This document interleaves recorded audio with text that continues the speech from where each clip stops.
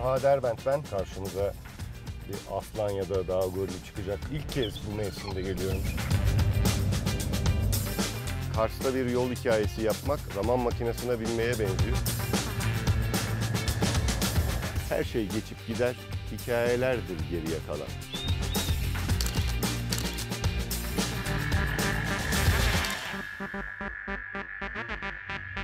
Hep beraber biraz gezelim bakalım.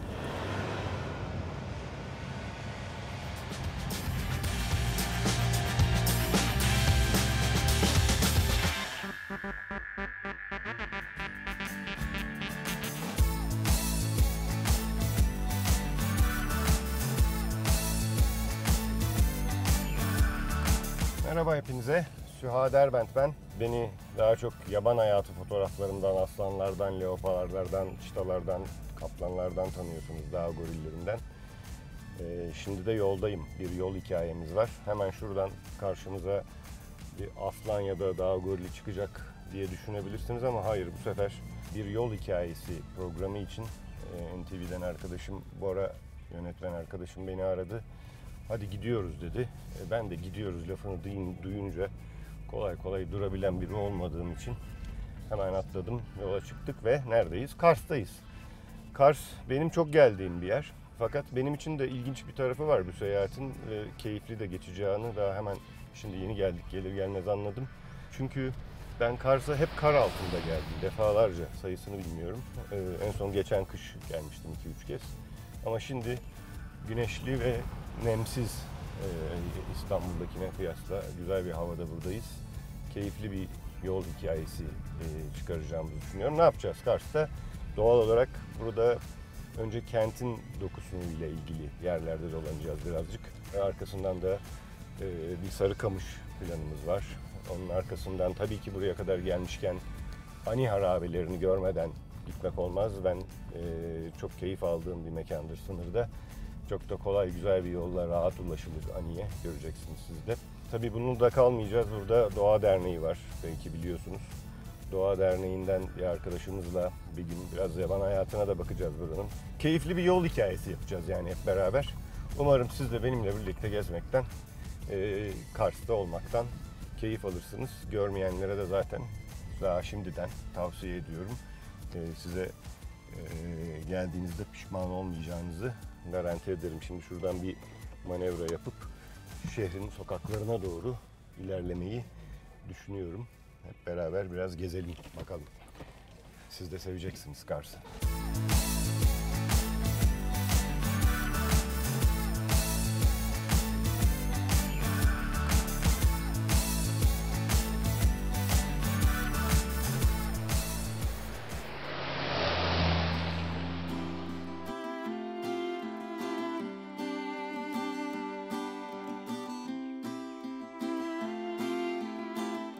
Güneşli bir Kars sabahında 12 Havari Kilisesi'nin önündeyim. Yani Kars'ta bir yol hikayesi yapmak aslında zaman makinesine binmeye benziyor. Çünkü yaklaşık olarak söylüyorum bin yıldan önce yapılmış bu e, 12 Havari Kilisesi ve üzerinde 12 Havari'yi simgeleyen rö- rölyefleri görmek mümkün. Gayet de iyi korunmuş. 937 yılında Kral Abbas tarafından yapılmış. Sonra 1064'te Selçuklular geldiğinde tekrar camiye çevrilmiş ve cami olarak devam etmiş. 1800'lü yıllarda da Kars Rus işgaline uğradığında tekrar kiliseye çevrilmiş. Şu anda burada küçük bir restorasyon çalışması var. Ama buraya kadar gelip zaman makinesi yolculuğu yapmaya değer çünkü gerçekten bin yıl önce yapılmış bir e, kilise bu. Gelen herkese görmelerini mutlaka tavsiye ediyorum. Oldukça enteresan bir yer.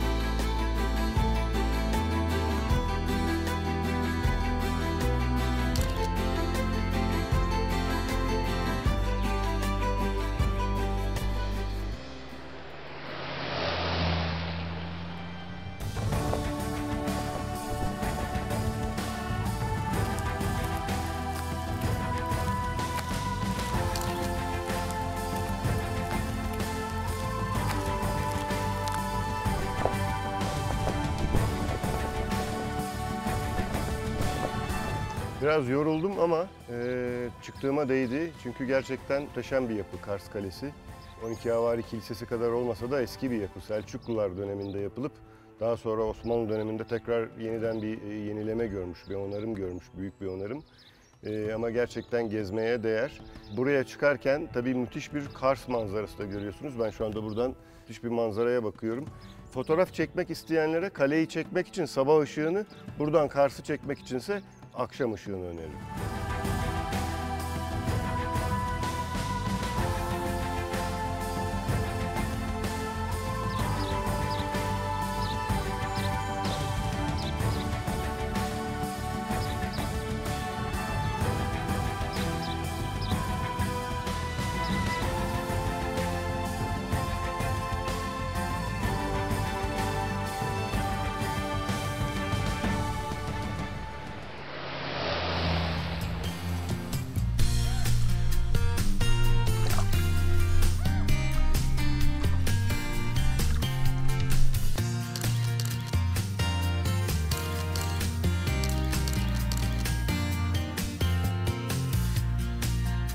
Kars'taki tarih içindeki yolculuğumuz devam ediyor. Kars Çayı üzerinden geçiyorum şu anda. Bu taş köprü e, Osmanlı döneminde 3. Murat zamanında Lala Mustafa Paşa tarafından kesme bazalt taşlarıyla yapılmış. Bizim kağıtları birleştirmek için kullandığımız tel zımbanın e, fikir babası burada. Lala Mustafa Paşa bu kesme taşları birleştirmek için bizim tel zımbaya benzer büyük demirleri bu taşları delerek buraya gömmüş, diplerine de kurşun dökmüş ve bu şekilde bu taşları birleştirmiş. Kars çayını iki tarafa bağlayan bu köprü e, oldukça enteresan. Ben görmenizi tavsiye ederim. Bunun gibi bir tane daha var burada. Keyifli bir gezi oldu bu sabah bizim için. Güzel bir yürüyüş yapmış oldum kaleden sonra.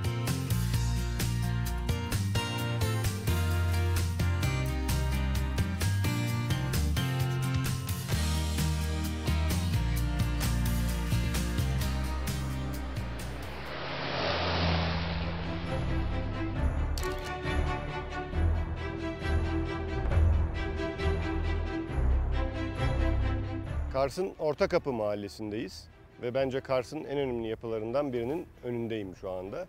Alexander Nevski Kilisesi. Kars'ı Ruslar işgal ettiğinde buraya bu, bunu bir katedral olarak yapmışlar. Sonra Kars'ın kurtuluşundan sonra bir süre spor salonu olarak hizmet vermiş. Şu anda da bir e, cami, Fethiye Camisi. Çok ilginç bir mimarisi var. Eskiden arkamda gördüğünüz çıkıntılarda iki tane soğanlı kubbe varmış ve onlar camiye çevrilme aşamasında kesilmişler. E, oldukça heybetli bir yapı. E, buraya gelip de bunu görmeden kesinlikle gitmeyin derim.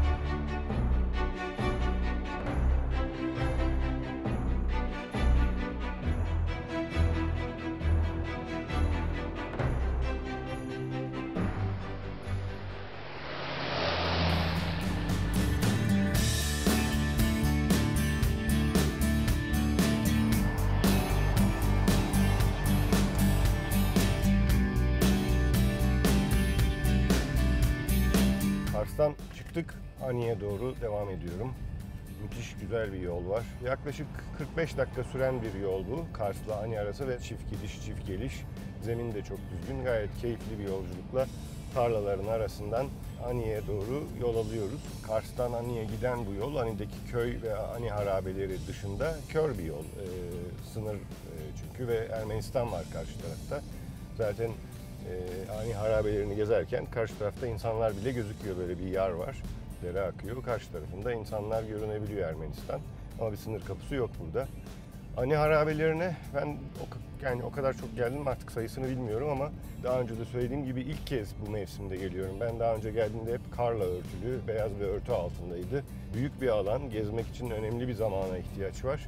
E, o yüzden gelirken sizin de oraya uzun zaman ayırmanızı tavsiye ederim. Kars'ın en önemli özelliklerinden biri de bu zaten. Yani Kars'a geldiğiniz zaman gelip sadece Kars'ı ve orada gördüğümüz, size anlattığımız şeyleri görmekle kalmıyor. Yakın çevresinde, ilçelerinde, etrafında birçok görülecek şey var. İşte hani harabeleri var, Sarıkamış var. Özellikle kışın Çıldır Gölü'nü görmenizi tavsiye ederim. Tarihi mekanlar beni e, hep heyecanlandırmıştır, e, ilgi uyandırır bende. Orada yaşayan insanların nasıl yaşadığını düşünmeye, hayal etmeye, çalışırım. O mekanları nasıl yaptıklarını anlamaya çalışırım. E, Ani'ye gidince gezdiğinizde siz de bunu çok iyi anlayacaksınız. Gerçekten mükemmel bir şehir ve e, yapı var. e, müthiş bir altyapı yapılmış zamanında. Az kaldı Ani'ye aşağı yukarı 10-15 kilometre civarında Ani'de olacağız.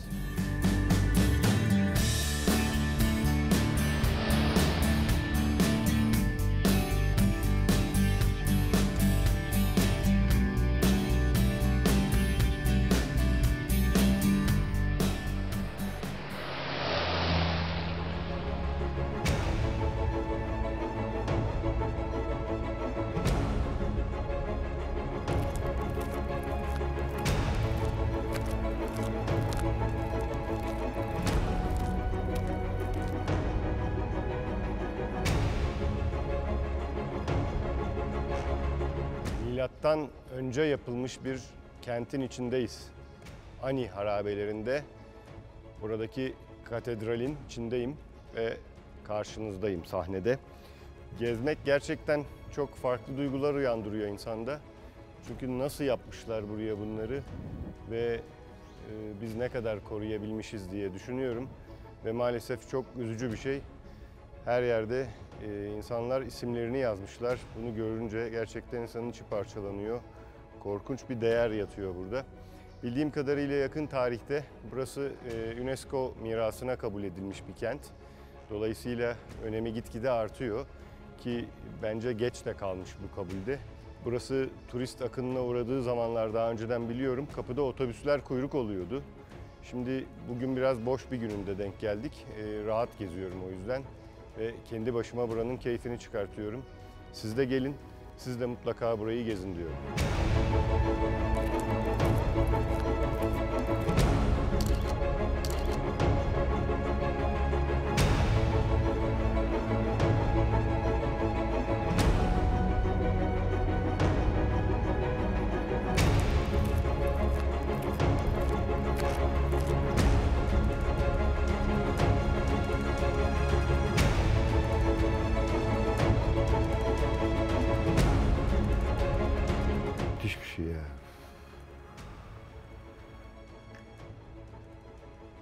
Yani böyle bir manzarada insan bütün gün geçirebilir. Çok keyifli. Aşağıda çok güzel bir çay akıyor. Bayağı debisi var suyun. Muhtemelen kışın çok daha hızlı akıyordur yani donuk olmadığı zaman. Aşağıda da ve karşı tarafta da bir takım harabeler var. Köprü var yıkık. Karşıda da Ermenistan'ın nöbetçi kulesi gözüküyor. El sallıyoruz onlara.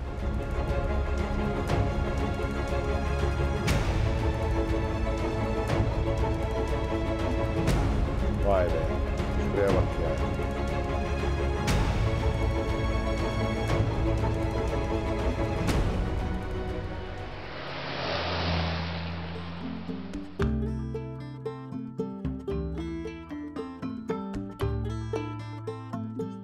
Harabelerini gezmeye devam ediyorum. Biraz yoruldum ama e, gerçekten çok büyük keyif alıyorum ve büyük bir hayranlık duyarak geziyorum.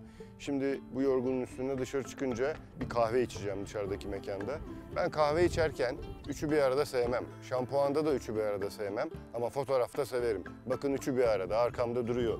İlk başta Manuçer Camii, arkasında katedral, onun arkasında Sırp Birgiç Kilisesi. Biraz harap ve bakımsız görünse de içi falan ve dış yapısı gerçekten muhteşemdir. Hepsini tek tek gezmenizi öneriyorum.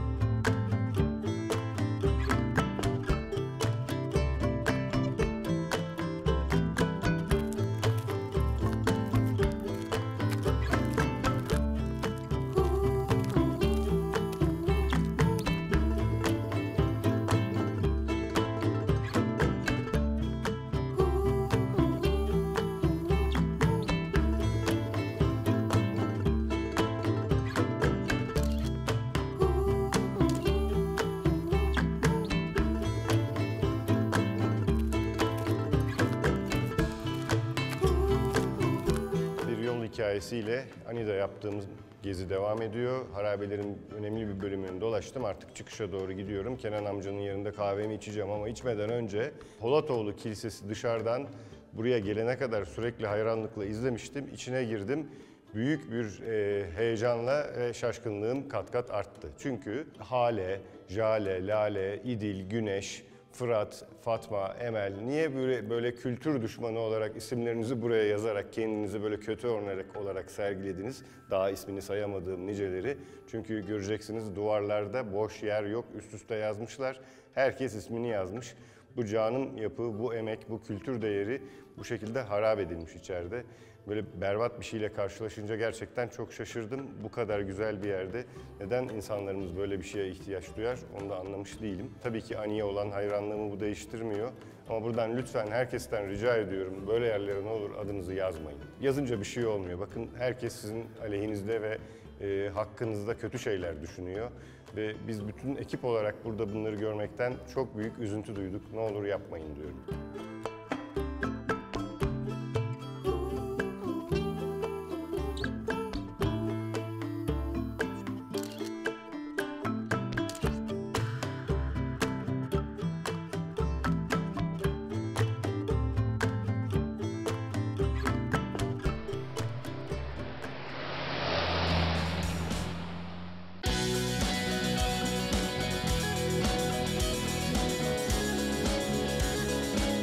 Sabah erken saatte Kars'tan Sarıkamış'a doğru yola çıktık. Ee, ve e, orada e, Sarıkamış Kültür Evi'nde güzel bir kahvaltı yapacağız. Oranın kahvaltısı çok güzeldir. Ee, arkasından da Katerina'nın Av Köşkü var. Ee, orada müthiş bir yapı. Onu göreceğiz.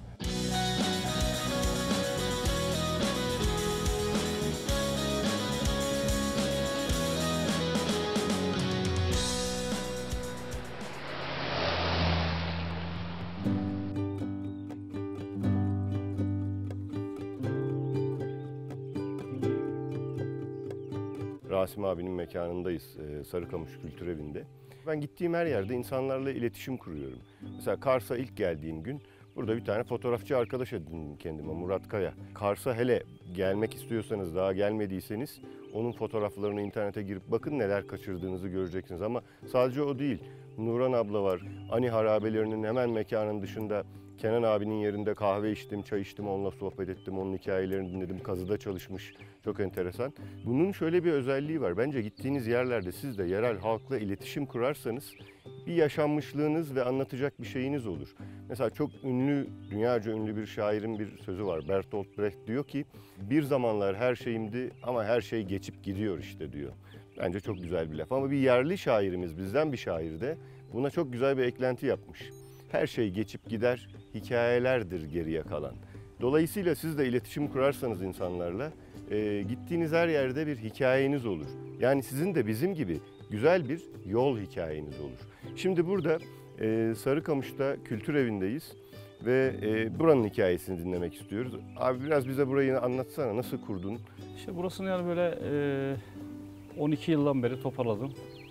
3000 tane tarihi objelerimiz var. Hı hı. Tabii bunları e, bir hobi olsun diye başladım. Ama daha sonra topladıkça fazlalıkça insanda işte bir hastalık oldu. Topladım. 3000 tane tarihi objeyi burada Sergiliyorsun. sergiliyorum. Ve sen burada yerel bir kahvaltı veriyorsun. Şimdi abi neler mesela bu ne abi? Çiçel peyniri. Çeçil peynir. Buraya özgü bir Evet. peynir. Buranın balı, Kars evet. balı, Kars kaşar, Kaşar, evet. Bu ne abi? Köy peynirimiz, un Köy helvası. peyniri. Sen anlat biraz abi bunlar nedir bize. Ondan sonra sevgili yönetmenimiz Bora falan açlar. Onlar baksınlar. Ben yiyeceğim. Evet abi. Kaymağımız var. Seyredin abi. Burada yetişen e, sen reçelimiz var. Hı. Tabii hepsi organik burada. Kahvaltımızı veriyoruz. Sadece bu mevsim değil, kışın da gelinir. Ben Tabii. kışın da geldim. İçeride kuzuneyi yaktım bize. Güzel bir kahvaltı verdin. Evet, kuzine yakıyoruz tabii. Patates falan atıyoruz. Bunun yanı sıra güzel kaz Dışarısı yapıyoruz. bembeyaz, içeride Kaz sıcacık. yapıyoruz tabii içeride. Kaz yapıyorsun, Kaz yapıyoruz. Kars'ın meşhur yemeği. Yöresel olarak e, yaptığımız e, yöresel yemeklerimiz var. Evelik çorbası, Ha evet. ısırgan çorbası, kuş ekmeği Ben çorbası. yanında sanki müzik de dinledik diye hatırlıyorum. Doğru mu hatırlıyorum evet abi? doğrudur Bak, evet evet. Tabii bir de gelen mesela misafirlerimize bir de müzik sunuyoruz. Nasıl bir şey oluyor abi? Teypten mi çalıyorsun? Yok.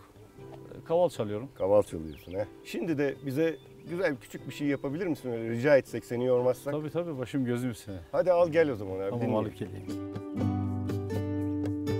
Cahit senin için yiyorum kameraman arkadaşım yumurtayı. Sen sabahtan beri aç çalışıyorsun ama ben yiyorum. Hayat böyle. Kars'ın çeşil peyniri bende nasıl bir tat bırakacak? Hoş hoş bir aroması var. Ve aa, damakta kalıcı bir tat bırakıyor.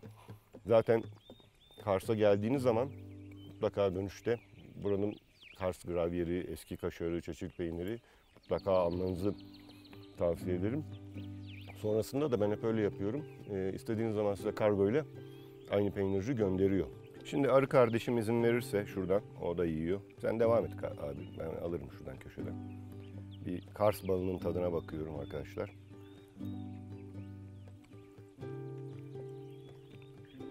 Evet. Gerçekten güzel bir aroması var onun da.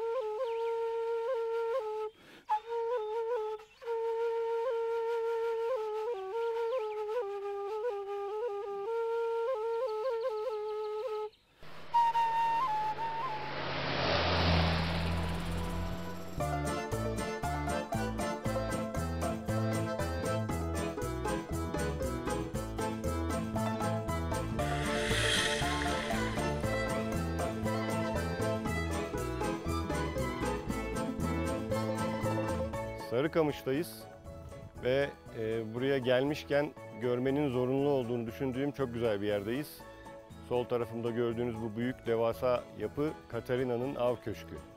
Ben her ne kadar ava karşı biri olsam da e, binaya gerçekten hayran kaldım.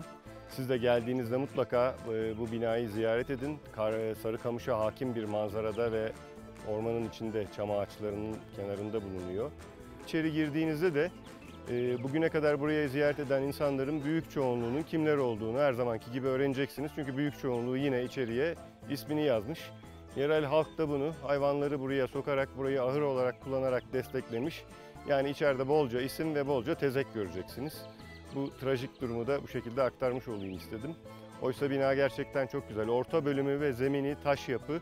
Etrafında da çivi kullanılmadan e, geçme ağaçlardan yapılmış ve büyük bir hayranlık duydum bu ağaçlara. Kışın burada ne kadar soğuk olduğunu biliyorum. Eksi 40'lara çıkıyor. E, bu ağaçlar buna hiçbir bakımı olmadığı halde dayanabilmişler. Reçinesi alınmamış eski ağaçlar çünkü bunlar. Ve bu değer burada bu şekilde kendi haline bırakılmış durumda. Oysa e, çok iyi değerlendirilebileceğini e, benim gibi eminim siz de görseniz düşünecek ve buna da üzüleceksiniz.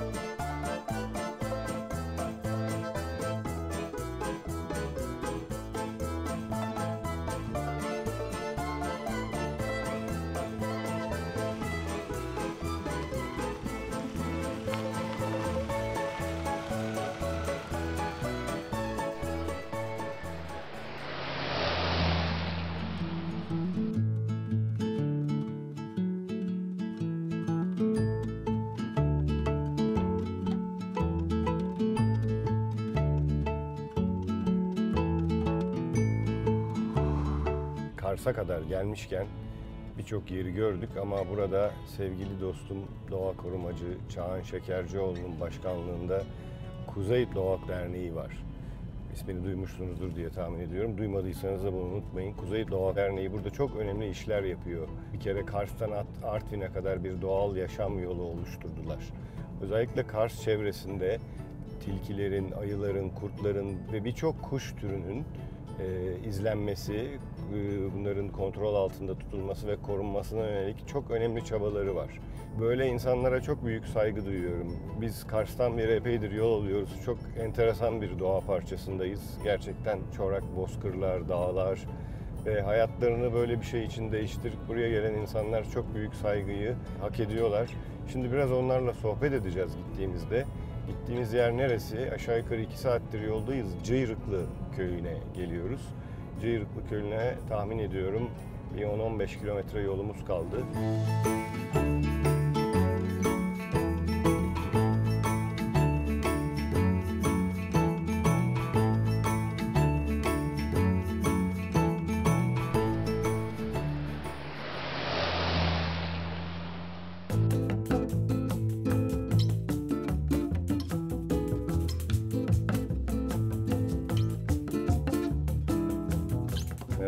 Merhaba hoş Ee, geldiniz. Hoş bulduk, teşekkür ederim. Bana göre çok kıymetli ve değerli bir iş yapıyorsunuz. Türkiye'deki birçok gence de örnek oluşturuyorsunuz bu yaptığınız şeyle. Gerçekten çok değerli bir işle ve çok büyük emek ve özveriyle çalıştığınızı da biliyorum ama e, ben zaten programın başından beri fazlasıyla konuştum. Şimdi birazcık kendi hayatından bahsederek nasıl bu işe bulaştın ve burada ne yapıyorsunuz da bize sen anlat bence. Nasıl bu işe bulaştım? Aslında 2001 yılında Kars'a üniversiteyi de biyoloji bölümünü kazanmıştım Kafkas Üniversitesi ile. Onu okumak için gelmiştim. Ama 3. sınıfta üniversitenin bahçesinde kuş gözleyen birini gördüm. Ve benim de çok ilgimi çekiyordu aslında ve daha sonra onun Çağan Şekercioğlu olduğunu öğrendim. Ve ona tek bir şey sordum ben. Ben de gelebilir miyim sizinle birlikte dedim. O da dedi ki yarın sabah 3.30'da gelebilirsen, kalkabilirsen tabii ki gelebilirsin. Ee, yaklaşık e, 10 yıldır ben her gün saat 3.30'da kalkmaya devam ediyorum. Hı hı. Aslında bu işe bulaşmamın e, başlangıcında bir saat 3.30 vardı. Hı hı. Bir arkadaşım kalkmadı, ben kalktım ve ben e, doğa koruma adına ülkede bir şeyler yapmaya çalışıyorum. Yeni şeyleri ortaya çıkartmaya çalışıyoruz. Ve daha sonra kuş gözlemciliğinden bir halkalama çalışması olduğunu, kuşların halkalandığını ve dünyada bütün göç yollarının aslında şimdiye kadar bu şekilde bulunduğunu öğrendim. Burada bir bölebilir miyim? Herkes e, özellikle gençler bilmeyebilirler. Halkalanma ne demek ve nasıl yapılıyor? Çok kısa bir bilmeyenler için. Halkalama e, kuşları özel lisanslı ağlarla, e, satın alabilen ağlarla, sis ağlarıyla yakalıyoruz. E, ve onların ayaklarına aslında birer plaka takıyoruz, Türkiye plakası. Ve yakla- yaka- yaklaşık 15 dakika içinde kuşları geri tekrar doğaya Bir bırakıyoruz. kimlikle evet, dolaşıyorlar bir kimlik sonra. veriyoruz aslında onlara. Hı hı. Ve bizim gibi dünyanın her yerinde bu çalışmayı yapan birçok örgüt ve birçok devlet kuruluşu var. Onlarla On- koordineli yapıyorsunuz. Tabii uluslararası bir network var. Bizim buradaki ilk geri bildirimimiz çok uzaklardan geldi. Afrika Cape Town'dan geldi. Vay. Cape Town'daki 7.8 gramlık bir kırlangıç ağlarımıza takıldı bizim. Hı hı. Ve daha sonra ondan sonraki yılda bizim e, halkaladığımız bir kırlangıç, e, Hı hı. gene 7 gramlık bir kuş, e, yaklaşık 7000 kilometre uçarak Zambiya'ya ulaştı. Vay. Bu şekilde dünyada aslında göç rotaları oluşturuluyor. Kuşlar hareket sıcaklıkla hareket ettikleri için özellikle şimdi iklim Tamam, değişikliği evet. bu kadar konuşulurken bu çalışmanın yapılması Türkiye açısından çok önemli aslında. Hı hı. Biz burada bu çalışmayı yaparak bunların hepsini ortaya çıkartıyoruz. En güncel veri bizim verimiz değil ama bu dünya genelindeki bir veri. Sıcaklıktan dolayı kuşlar artık 400 kilometre daha kuzeye gitmeye başlamışlar. Hı hı. Bu aslında bizim için çok büyük bir gösterge. Hava ne kadar ısınıyor. Hı hı. E biz de buradaki çalışmaları ne kadar uzun vadeli devam ettirirsek, bu alanı ne kadar iyi koruyabilirsek, bu alandaki çalışmaların sonucundaki Türkiye'deki iklim ne kadar değişiyor buna bir cevap verebiliriz. Ve yavaş yavaş aslında vermeye başladık. Şöyle bir şeyi çok merak ediyorum. İlgisi olan gençler böyle bir şeye, böyle bir çalışmaya girerek e, hayatlarına ne katabilirler? Ben yolda yürürken etrafımdaki her şeyin ne olduğunu çok iyi farkındayım. Bir kuş yanımdan kalktığı zaman onun türünü bile biliyorum. Ee, yanım üzerine bastığım bitkinin türünü bile biliyorum. Onun neye işe yaradığını, bir bozayının ekosistemde ne işe yaradığını, bir ormana baktığım zaman o ormanın ne kadar kaliteli olduğunu bilebiliyorum ve bu aslında benim yaptığım işin keyfi. Bana göre çok büyük özveriyle ve zaten çok değerli bir iş yapıyorsunuz ve gerçekten örnek insanlarsınız. Birçok gence ben çok gönül rahatlığıyla örnek gösterebilirim. Böyle bir meslekte Türkiye'de insanlar doğaya, hayvanlara ilgisi olan e, ve bu konuda katkıda bulunmak isteyen insanlar bu işe girerek bundan hayatlarını kazanabilir ve sürdürebilirler mi? Valla ben 10 yıldır hayatımı sürdürüyorum. Hı hı. Paramı kazanıyorum. Ee, bir aileme bakıyorum. Hı hı. Artık bir hı. ailem de var. Ee, ve şu an biliyorum ki Türkiye'de birçok kurum kuş gözlemcisi arıyor, yaban hayatı uzmanı arıyor. İhtiyaç Fakat da var. bulamıyorlar. Evet, Hmm. bulamıyorlar ve bizleri arıyorlar. Biz sadece Kars ve Doğu Anadolu bölgesine yetişebiliyoruz ki ona da yetişemiyoruz artık. E, çünkü her yerde bu ülkenin her yerinden doğal güzellik fışkırıyor. Aynen. Doğal zenginlik var bu ülkede ve bunların hepsinin aslında ortaya çıkması bu bölgenin turizm açısından da kalkınmasına sebep olacak. Bu alanların hem bu doğal güzellikleriyle hem de içinde yaşadığı canlılarla korunması ve bunların araştırılması ve daha sonra bunları da koruyarak, korumayla birlikte koruyarak bunları e, turizme açılması, doğa turizmine açılması burada herkesin kazancını olacak. Valla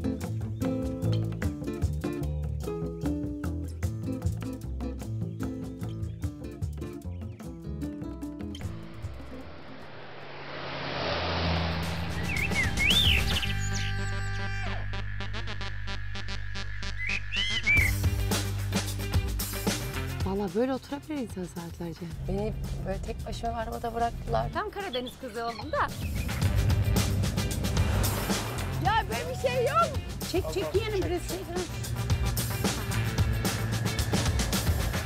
Hadi hep birlikte. Ordunun dereleri.